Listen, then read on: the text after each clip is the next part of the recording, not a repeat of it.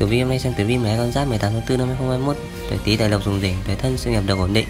Tử vi mé con giáp tuổi Tý xỉu dần mão thì tỵ ngọ mùi thân dậu tuất và hợi với công việc tài lộc sức khỏe tình duyên và sự may mắn. Dưới tử vi vui ngày 18 tháng 4 năm 2021 dương lịch của mé con giáp chúc bạn có những kế hoạch hoàn hảo trong ngày mới.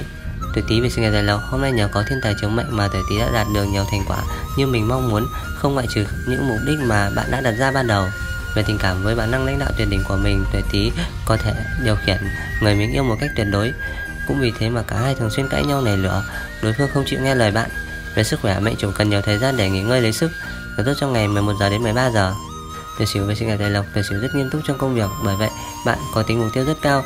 Nếu ai không làm theo ý của bạn thì chắc sẽ nhận cái kết đắng. Về tình cảm những cô nàng tuổi Sửu có phần kiêu kỳ và ngao mạn quá mức đối với những người đang theo đuổi mình. Bạn thật sự mong muốn ở bên ai đó dài lâu nhưng bản tính lại thế. Về sức khỏe hôm nay mệnh chủ cẩn thận về các bệnh về phế quản và phổi. Giờ tốt trong ngày 17 giờ đến 19 giờ. thời gian với sinh nghiệp tài lộc, trước ngày đen đuổi của thời gian vẫn chưa kịp khép lại khi thương quan lại bám đuổi theo bạn. Về tình cảm, nếu như bạn cảm thấy mình đang làm phiền người khác thì hãy tiết chế lại một chút cho mối quan hệ cả hai thêm phần tốt đẹp nhé. Về sức khỏe, bản mệnh hôm nay đã chăm chỉ hơn khi hoàn thành công việc của mình. Giờ tốt trong ngày 12 giờ đến 14 giờ. Tuổi mão về sinh ngày tài lộc, tuổi mão kiêu ngạo là thế nhưng đứng trước những người có uy lực hơn thì bạn lại nhanh chóng bị chùn bước mà thôi. Về tình cảm, ta và phù trợ cho tình cảm của tuổi mão và người ấy đẹp như trong mơ. Bạn hãy can đảm để nói chuyện trăm năm đi nhé. Về sức khỏe, tuổi mão nên chú ý vào những bữa ăn sáng của mình để có thật nhiều dinh dưỡng nhé. Và tốt trong ngày 11 giờ đến 13 giờ. Tuổi thìn về sự nghiệp tài lộc, tuổi thìn có thể cảm thấy hơi bực bội vì chuyện công việc của mình. Tuy nhiên, nếu đã là người gây ra nhiều chuyện xấu trong quá khứ thì đừng vội rũ bỏ nhé. Về tình cảm, bạn cùng người kia có vẻ như không hợp nhau cho lắm, cả hai đang bước vào giai đoạn chiến tranh lạnh. Về sức khỏe, tuổi thìn cần chăm sóc cho cơ thể, chứ đừng để tình trạng này diễn ra nữa nhé. Giờ tốt trong ngày 9 giờ đến 11 giờ. Tuổi tỵ về sự nghiệp tài lộc, thiên hướng gặp gỡ tuổi tỵ giúp cho bạn có nhiều cơ hội để cọ sát với những thử thách, từ đó có được những bước tiến không ngờ trong sự nghiệp của mình. Về tình cảm, hôn nhân có nhiều vết nứt do cả hai không có nhiều thời gian dành cho nhau. Về sức khỏe, những người trẻ tuổi nên chú ý đến vấn đề sức khỏe sinh sản, giờ tốt trong ngày 11 giờ đến 13 giờ. Tuổi ngọ về sinh ngày tài lộc, tuổi ngọ có tính cách ngang bướng của mình mà nhiều khi bạn không thực sự quan tâm đến chuyện tương lai có bị ảnh hưởng gì lớn không. Về tình cảm, hôm nay tuổi ngọ dễ bị người thứ ba hấp dẫn khiến cho mối quan hệ giữa bạn và người ấy trở nên gay go hơn.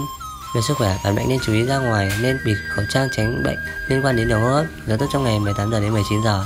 Tuổi mùi về sinh nghiệp tài lộc hôm nay có thể tuổi mùi sẽ phải bất ngờ về tài ăn nói đỉnh cao của mình. Bạn rất thuyết phục khách hàng để ký được hợp đồng lớn, từ đó thu nhập cũng tăng lên không ngừng. Về tình cảm, tuổi mùi nên nhìn nhận vấn đề một cách khách quan, đừng vu oan cho người ấy một cách tuyệt đối, khiến cho họ cảm thấy mệt mỏi nữa. Về sức khỏe, mẹ chủ nên chú ý đến ăn uống hàng ngày hơn. Giờ tốt cho ngày 18 giờ đến 20 giờ. Tuổi thân về sinh ngày tài lộc tuổi thân hôm nay nên xuất hành đi về phía Bắc sẽ tốt hơn. Bạn sẽ được quý nhân phù trợ trên con đường này. Hãy cố gắng tận dụng cơ hội nhé. Về tình cảm bạn và người có sự tương đồng. Về tính cách nên đôi khi cả hai bị đồng điệu và không có gì thu hút nhau được. Về sức khỏe, tuổi vi cảnh báo người tuổi thân nên ăn uống khoa học hơn, đừng ăn bậy bạ như bây giờ nữa. Giờ tốt trong ngày 14 giờ đến 16 giờ. Tuổi dậu về sinh ngày tài lộc vốn dĩ tuổi dậu không yếu đuối như hiện tại, nhưng do trải qua một số cú sốc trong công việc, bạn càng trở nên thận trọng và thiếu phần quyết đoán hơn.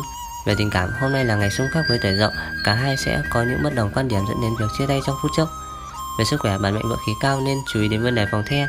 Giờ tốt trong ngày 17 giờ đến 19 giờ. Tuổi tuất về sinh nhật tài lộc, nhờ có thiên quan giúp đỡ mà người tuổi tuất có thể vượt qua mọi sóng gió trong sự nghiệp khi gặp được đúng người đồng hành. Về tình cảm, tuổi tuất cùng với anh em trong gia đình có sự cãi cọ và tranh chấp lợi ích riêng. Về sức khỏe, tuổi tuất nên chạy bộ để có một vóc dáng săn chắc nhé. Giờ tốt trong ngày 18 giờ đến 20 giờ.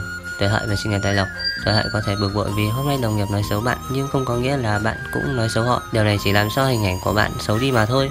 Về tình cảm, tuổi hợi không quan tâm đến cảm giác của người kia chỉ vì cả hai có những sự xích mích không nói nên lời. Về sức khỏe, mệnh chủ vì nóng giận trong người nên cơ thể luôn cảm thấy bực bội, khó chịu. Giờ tốt trong ngày 17 giờ đến 19 giờ.